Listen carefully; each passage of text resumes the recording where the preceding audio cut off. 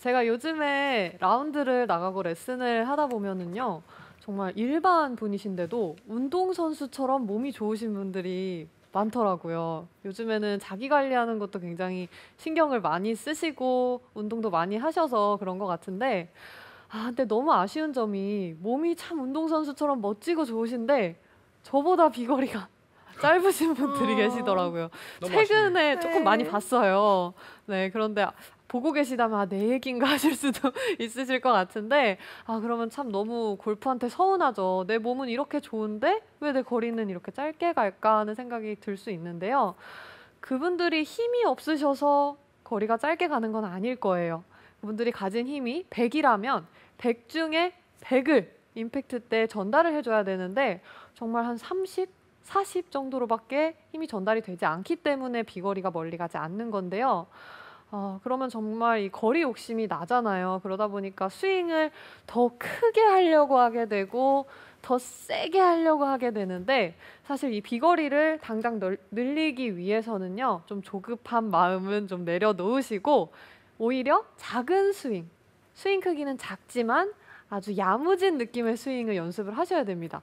어, 제 스윙을 한번 보시면 제 스윙 크기가 그렇게 크진 않을 거예요. 굉장히 작은 스윙인데 작은. 스윙이지만 네. 또 힘은 잘 전달이 되죠. 이렇게 좀 작지만 힘이 잘 전달이 되는 스윙을 먼저 연마를 하시고 그 이후에 임팩트가 좀 좋아지면은 스윙을 크게 세게 빠르게 하는 것이 좋습니다. 어, 급한 마음에 스윙을 더 빨리 하려고 하다 보면은요 거리도 짧은데 비거리까지 아니 거리도 짧은데 방향까지 좋지 않을 수가 있기 때문에요 오늘 제가 알려드릴 이 작지만 야무진 스윙을 먼저 잘 배워 가셔야 돼요. 어, 우선은 이 공의 힘 전달이 잘 되시는 분들과 그렇지 않은 분들의 차이를 설명을 드리자면은 어, 크게 두 가지 정도가 있어요. 우선 첫 번째로는 힘 전달이 잘 되지 않으시는 분들은 스윙을 했을 때 빈틈이 많습니다. 자, 빈틈이라는 거는 예를 들어서 백스윙을 했을 때 이렇게 오른팔이 많이 벌어지면서 빈틈이 생기기도 하고요. 팔로우 스루에서도 팔꿈치가 벌어지면서 chicken wing이죠. 정말 싫어하시는 이렇게 빈틈이 나오기도 합니다. 거- 이것보다 더 안 좋은 거는요. 사실 백스윙 팔로우 스루 좀 치킨이 나와도 괜찮아요. 근데 다운스윙 했을 때 이 팔이 벌어지더라도 다시 다운스윙 할 때 이렇게 몸 안으로 잘 들어오면은 힘 전달하기가 좋아요. 그런데 벌어진 상태로 또 팔로 내려서 팔과 몸이 멀어지면서 또 빈틈이 생기는 경우가 있습니다. 이런 분들은 정말 공에 힘 전달하기가 어려워요. 스윙도 점점 커지고요. 그래서 이러한 특징이 하나가 또 있고요. 또 하나는 스윙을 했을 때 전달이 잘 되지 않으시는 분들은 몸의 중심이 많이 흔들립니다. 예를 들어서 몸이 들리기도 하고요. 뒤집어지기도 합니다. 제 스윙을 한번 보시면은 제 몸의 중심이 어, 작은 스윙을 할 때 잘 잡혀 있는지 한번 봐주세요. 중심이 아주 쫀쫀하게 잡혀 있는데요. 그렇죠. 지금 표현을 너무 잘해주셨는데 네. 한마디로 말하자면은 이 야무진 스윙은 쫀쫀한 느낌의 스윙이에요. 몸이 잘 잡혀 있는 쫀쫀한 느낌인데 이제 힘이 잘 전달이 안 되는 스윙은 빈틈이 많고 뭔가 흐물흐물한 그런 느낌이죠. 느낌의 차이가 확실합니다. 그래서 오늘 제가 좀 쫀쫀하게 작지만 야무진 임팩트 만들어내는 방법을 알려드릴 건데요. 우선은 첫 번째로는 어드레스가 굉장히 중요해요. 어드레스를 했을 때 제 허리 쪽을 보시면은 스윙이 잘 잡히지 않으시는 분들은 허리가 이렇게 꺾여 있는 경우가 많습니다. 허리가 이렇게 꺾여서 C자를 만들고 있는 경우가 많아요. 이렇게 허리가 꺾이는 게 아니라 오히려 약간 말아주는 느낌을 가져서 허리가 일자로 이렇게 나와 있는 것이 좋습니다. 한번 두 가지를 다 해보시면은 허리가 이렇게 꺾일 때랑 안쪽으로 말 때랑 어느 움직임을 줬을 때 더 복근에 힘이 많이 들어가는지를 시청자분들도 보시면서 한번 해보세요. 해보시면 확실히 이렇게 꺾게 되면은 배에 힘이 들어가지 않고요. 오히려 약간 이렇게 말아줬을 때 복근에 힘이 들어갑니다. 그래서 어드레스를 했을 때부터 약간 말아서 배에 힘을 딱 준 상태로 어드레스를 해야 백스윙을 할 때도 뒤집어지지 않고 중심이 잘 잡히고요. 치고 나서도 뒤집어지지 않고 배치기가 나오지 않고 중심이 잘 잡힐 수가 있는 거예요. 그래서 스윙을 했을 때 내 몸이 좀 내 의도와는 다르게 탄탄하게 잡히지 않는다 하시는 분들은 허리를 약간 이렇게 말아주는 느낌을 가지신 상태로 스윙을 해보세요. 이렇게 스윙을 하면 훨씬 더 샷. 중심이 잘 잡힌 느낌을 어, 받기가 좋습니다. 특히 여성분들이 이렇게 돼 있는 경우가 많으니까요. 이렇게 배를 좀 말아주세요. 그래서 힘이 딱 들어가게 만들어 주시고요. 그리고 이제 두 번째로는 쫀쫀한 느낌을 내기 위해서 우리 몸의 꼬임을 잘 정확하게 만들어 주셔야 되고요. 그리고 그 수- 정확한 꼬임, 최대치의 꼬임이 스윙을 했을 때 어느 구간에서 최대치의 꼬임이 나오는지를 여러분들이 정확하게 아셔야 돼요. 우선은 저희가 꼬임을 만들어 볼 건데 제가 장갑으로 한번 보여드리자면은 이 꼬임을 만들 때 두 가지 방법으로 만들 수가 있습니다. 하나는 한쪽은 고정을 해놓고 한쪽만 비틀어서 꼬는 방법이 있어요. 그냥 한쪽은 고정하고 한쪽만 비틀어서 꼬는 방법. 그리고 두 번째는 양쪽을 반대로 비틀어서 꼬는 방법이 있어요. 이렇게. 이렇게 두 가지 방법이 있는데요. 이 두 가지 다 해볼 거예요. 근데 우선은 한쪽을 고정하고 한쪽만 비틀어서 꼬는 것을 먼저 할게요. 이걸 잘하셔야 두 번째 것도 잘하실 수 있거든요. 이 골프를 할 때 비유를 한번 해보자면은 하체 쪽은 좀 고정한 느낌을 가져주시고요. 이 상체 쪽을 꼬아 볼 거예요. 사실 이 하체를 완전히 고정하려고 해도 연결돼 있기 때문에 조금은 움직이겠지만 생각은 최대한 고정을 한다고 생각을 하고 해보는 거예요. 제가 보여드리자면 하체를 고정을 하고 자 우선 백스윙을 시작하면 왼쪽 어깨가 낮아지면서 백스윙이 만들어집니다. 최대한 고정을 한 거예요 저는. 자 하체 고정하고 왼쪽 어깨가 낮아지면서 백스윙이 나와요. 이렇게 되면 이 왼쪽 옆구리에 꼬임 아주 불편한 느낌이 납니다. 해보시면 아실 거예요. 시청자분들도 보- 보시면서 한번 해보세요. 왼쪽이 해볼까요? 굉장히 불편하고요. 그리고 다운스윙 시작하면 오른쪽 어깨가 낮아지면서 임팩트 구간으로 들어갔을 때 이번에는 반대로 오른쪽 옆구리가 답답한 느낌이 납니다. 자, 이게 끙끙거리는 소리가 저절로 나와요. 한번 해보시겠어요? 찬데요? 네, 하체 고정하고 지금 어떤가요? 좀 꼬임이 느껴지세요? 저 일단 왼쪽 옆구리가 뭔가 자극이 오긴 하는데 네, 잘 되고 있는 건지 모르겠네요. 제가 한번 볼게요. 해보세요. 조금 더 하체를 고정을 하고 해주시면 은 음. 꼬임이 더 확실하게 느껴지거든요. 하체 이렇게요. 고정하고 그렇죠. 할수 있는 한 정말 최대한 가야 돼요. 이게 저의 한계입니다. 반대쪽도 가보세요. 다운스윙 또 해보세요. 이게 굉장히 별거 아닌 것 같은데 힘드네요. 그쵸. 막상 해보면 정말 힘들어요. 이게 이- 맞나요? 지금 더 해도 될 것 같은데요. 하실 때 가능한 한 최선을 다했어요. 실수. 아, 최선을 머리를 조금 고정을 하시고 네. 만약에 이게 너무 어렵다 나는 꼬이는 느낌이 안 난다 하시는 분들은 좀 극단적인 방법으로 아예 앉아서 해보세요 오, 네, 어, 의자에 앉아서 앉아서 좋은 방법이겠는데요. 네. 지금 앉을, 앉을 생각에 좋아하시는 것 오, 같은데. 서인이 힘들어요 이제. 앉아서 그렇죠. 어깨 올리고 어드레스처럼 상체 약간 숙이시고 갈 수 있는 한 최대한 가보세요. 앉아서 하면 하체가 정말 완전히 고정되기 때문에 안 가져요, 아까보다 더 많이 못 갈 거예요. 그렇지만 꼬임은 더 잘 느껴지죠 제 자신이 밉네요. 왜? 이 몸이 정도- 생각보다 되게 네. 그러니까요. 딱딱하시네요. 아, 이 정도면 잘하시는 아, 거예요. 이거 정말. 하다 보면 또 늘고, 저도 예전에 이제 운동했을 때는 이렇게 하체를 완전히 고정을 하고, 최대한 많이 갈 수 있게 가동 범위 늘리는 거 정말 많이 했거든요. 그 훈련 하시면 여러분들도 더 꼬임 잘 느끼실 수 있으니까, 이렇게 앉아서 꼬임. 백스윙 하면 왼쪽 어깨 낮아지면서 왼쪽에 꼬임, 다운스윙 시작하면 오른쪽 어깨가 낮아지면서 오른쪽에 꼬임. 이걸 느끼면서 해보시면 좋겠고요. 머리 높이만 잘 체크해 주세요. 제가 왼쪽에 꼬임 느끼라고 해서 이 머리가 옆에서 봤을 때 완전히 떨어질 정도로 이렇게 되면 또 꼬임이 잘 느껴지지 않거든요. 머리 높이는 고정을 해주시고 왼쪽에 꼬임, 오른쪽에 꼬임을 느껴주셔야 돼요. 특히나 이 훈련을 많이 하셔야 되는 분들은 힘 전달이 안 되는 유형, 유형 중에 백스윙을 할 때 왼쪽 어깨가 빨리 높아지면서 굉장히 플랫한 백스윙이 나오시는 분들이 계세요. 그런 분들은 다시 공을 맞추려면 바깥쪽으로 내려오면서 이 보상 동작으로 공을 치기 때문에 힘 전달이 잘 안 되거든요. 그분들 이렇게 왼쪽 어깨 낮추는 거 정말 도움이 많이 될 거고요. 또 다운스윙 할 때 오른쪽 어깨가 높아지면서 오른발이 빨리 떼지시는 분들도 계시잖아요. 이 공을 맞춰야겠다는 생각과 또 멀리 보내고 싶다는 생각 때문에 아까 김영태 프로님이 레슨을 했던 것처럼 오른발이 빨리 떼지시는 분들이 계시는데 그런 분들은 아예 정말 하체를 끝까지 오른발을 떼지 마시고 연습 방법으로 해보는 거예요. 평생 이렇게 할 건 아니고요. 연습법으로 하체 고정하고 오른쪽 옆구리에 이 꼬임을 좀 더 느끼는 걸 생각을 해보세요. 그러면은 훨씬 더 이 다운스윙 궤도도 좋아지고 힘 전달이 잘 되거든요.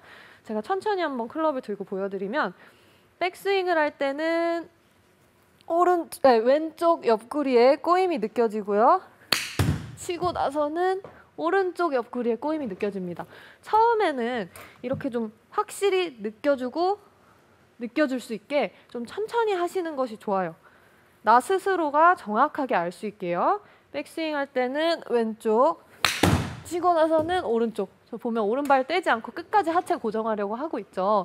그래서 여러분들이 처음에는 하체를 막 과감하게 쓰는 것보다 오히려 거리를 내기 위해서 첫 번째로 필요한 거는 정확하게 맞는 거기 때문에 하체를 고정을 해놓고 왼쪽과 오른쪽 생각을 하시면서 아예 잡아놓고 치는 연습을 해주시는 것이 더 좋습니다. 그래서 이렇게 오히려 하체를 쓰지 않고 정확하게 공을 치면은 힘 전달도 잘 되고 비거리도 멀리 가거든요. 그래서 첫 번째로 한쪽은 고정하고 한쪽을 비틀어주는 연습을 많이 많이 해주셔야 돼요. 그래서 익숙해진 후에 그리고 이제 두 번째는 반대로 비틀어 보는 건데요. 서로 양쪽을 반대로 비트는 건데 어, 이 반대로 비틀 때 우리가 최대치의 꼬임을 느낄 수가 있어요. 근데 대부분 이 꼬임을 어디서 느끼라고 하냐면은 대부분 백스윙 top에서 여기서 꼬임이 최대한으로 느껴진다고 생각을 하세요. 백스윙 top 올라가서 여기가 스윙의 최대치의 꼬임이고 다운스윙 할 때는 그 꼬임이 풀리면서 공을 쳐야 된다라고 생각을 하시는데 아니에요? 아니에요. 네, 아니고 오히려 백스윙 top이 아니라 백스윙 top 올라갔다가 다운스윙 전환될 때 여기 다운스윙으로 내려오는 이 구간에서 오히려 최대의 꼬임이 나와야 돼요. 왜냐하면 백스윙을 할 때는 오른쪽 어깨가 이러, 아, 왼쪽 어깨가 낮아지면서 왼쪽 옆구리에 꼬임이 느껴지는데 백스윙을 하는 길에 저희가 하체가 움직이죠. 상체가 오른쪽으로 가는 길에 하체가 왼쪽으로 가기 때문에 아. 서로 반대로 움직입니다. 그렇기 때문에 오히려 다운스윙에서 최대의 꼬임이 느껴지셔야 돼요. 백스윙을 다 하고 꼬임을 느끼고 하체를 쓰려고 하면은 늦어요. 이 두 번째 단계에서는 오히려 백스윙이 올라가는 길에 하체가 써진다고 생각을 하셔야 돼요. 가는 길에 써지고 그래서 상하체가 정말 따로 놀았네요. 네 상하체 맞습니다. 분리 얘기를. 네. 네. 네 상하체 분리 많이 들어보셨잖아요. 그거가 바로 이거를 의미를 하는 거고요. 음, 그래서 반대로 오른쪽으로 가는 길에 왼쪽, 오른쪽으로 가는 길에 왼쪽을 정확하게 해주시면은 또 뭐가 좋냐면 오버스윙 나오시는 분들에게도 정말 좋아요.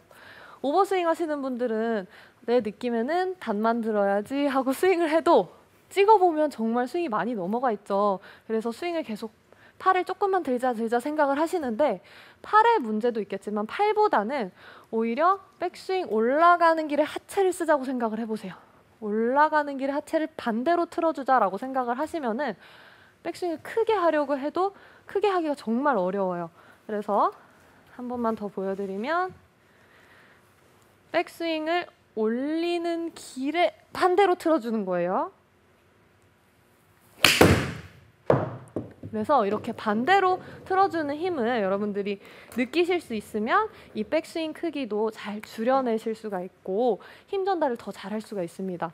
어, 제가 연습법을 하나 보여드릴 건데요. 평소에 도구를 하나 가지고 와볼게요. 오 많이 봤어요. 네, 어, 비교를 한번 해보자면은 네. 지금 이 클럽은 낭창거리지 않고 좀 단단한 편인데 이 도구는 굉장히 음, 낭창거려요. 만약에 이렇게 어, 이런 도구가 없으시다면 드라이버를 뭐 거꾸로 잡고 하셔도 좋고요. 아니면은 저희 이 에이밍 연습할 때 바닥에 놓고 체크하는 그 스틱 있죠. 그런 걸로 연습을 하셔도 좋습니다. 그래서 굉장히 텐션이 좀 느껴지는 낭창거림이 느껴지는 어, 도구를 가지고 와봤는데요. 이 도구를 잡고 저희가 올라가는 길에 반대로 꼬이는 느낌을 우리 몸으로 느껴볼 거예요. 근데 어떻게 할 거냐면은 이렇게 천천히 하는 것보다 하나, 둘 이렇게 하는 것보다 잘게 반복을 할 거예요. 어떤 느낌이냐면 하나, 둘, 셋, 넷 이렇게 할 거예요. 여섯, 일곱. 왜냐하면 어, PT 받아보신 분들은 아실 거예요. 저희가 뭐 스쿼트를 하더라도 천천히 하는 것도 힘들지만 완전히 내려가서 여기서 살짝살짝 하는 거 아, 정말 맞아요. 힘든 거 아시죠? 맞아요. 그거랑 비슷해요. 저희 몸의 자극을 좀 잘 느끼려면은 잘게 반복을 할수록 또 잘 느껴지거든요. 그래서 올라가는 길에 하체를 반대로 틀어주고 이때 보시면은 이 클럽이 이 튕겨 나가는 이 tension tension이 느껴지거든요. 이걸 잘 느끼셔야 헤드 무게 느끼라고 하잖아요. 여기서 이 출렁거림을 잘 느껴줘야 헤드 무게를 느낄 수가 있어요. 여기서 힘을 잘 모아야 힘을 쓸 수가 있는 거거든요. 여기서 느껴지지 않는데 헤드 무게를 전달할 수가 없잖아요. 그러니까 올라가는 길에 반대로 틀어주면 출렁거리는 느낌이 여러분들한테 느껴지실 거니까 이 느낌을 받아보시고 이걸 반복적으로 하다 보면은 우선은 해보시면 아시겠지만 지금도 굉장히 숨이 차는데 이- 복근에 힘이 많이 들어갈 것 네. 같아요. 맞아요. 음. 복근에 힘이 많이 들어가요. 복근에 힘이 들어가고 거기에 더해서 계속 하다 보면은 양 발을 좀 꾹꾹 누르는 느낌이 납니다. 올라갔다가 내릴 때 꾹꾹 꾹 꾹 하는 느낌이 나요. 그렇죠. 맞아요. 조금 더 지금은 이제 옆으로 그냥 이렇게 미는 미는 느낌인데 꼬인 걸 풀어서 회전하는 느낌이면 더 좋을 것 같아요. 저는 잘 되나요? 아, 당연히 잘 하시죠. 보나마나죠. 네. 이게 오 복근 훈련도 되고 오히려 네. 이거 PT랑 골프 스윙이랑 같이 도움이 되는 그런 건데요. 맞아요. 이제 일석이조. 어, 같이 같이 괜찮은 것 같은데. 힘이 네. 배도 들어가겠어? 들어오는데요? 그쵸. 어. 배도 들어가고 배도 들어갈 것 같아요. 뱃살, 뱃살도 잡고 스윙도 잡고 골프도 좋아지고 그쵸. 너무 거리도 좋죠. 나고. 일석이조. 아유. 일성 한 3, 일석 4주 몇 되는 조예요? 것 네. 같은데. 그쵸 맞습니다. 그래서 네. 이왕이면 은 또 이제 이런 클럽을 낭창거리는 걸 들고 연습을 해보시면 좋고요. 가서 반대로 틀어주면서 클럽이 이렇게 끌려 내려오는 이 느낌을 잘 느껴주시고요. 이제 제가 클럽을 잡고 해볼 건데 이렇게 가벼운 걸로 하다가 이 클럽을 잡으면 좀 굉장히 무겁게 느껴지면서도 사실 헤드 무게가 더 잘 느껴지기도 해요. 그래서 똑같은 느낌으로 몇 번 반복을 해보고 아, 오늘은 제가 운동을 온 것 같아요. 지금 숨이 숨차 보이세요. 숨이 턱끝까지 차오르고 있습니다. 자, 올라가는 길에 반대로 틀어주는 거예요. 무게 느끼면서 네, 이렇게 전달을 해주시면 지금 보시면은 힘 전달이 또 굉장히 잘 됐죠. 그래서 여러분들도 연습을 하실 때 좀 반복적으로 연습을 하고 또 공을 하나를 쳐보고 하면서 어, 제대로 된 꼬임을 느껴주시면 아주 좋습니다. 그래서 지금 보여드렸던 것처럼 굉장히 작지만 제가 말씀드린 이 부분을 잘 지키면 힘 전달이 잘 되고 아주 야무진 스윙의 느낌을 만들어내실 수가 있거든요. 그래서 거리 욕심 나시는 분들 이 스윙을 먼저 연습을 꼭 해보시고요.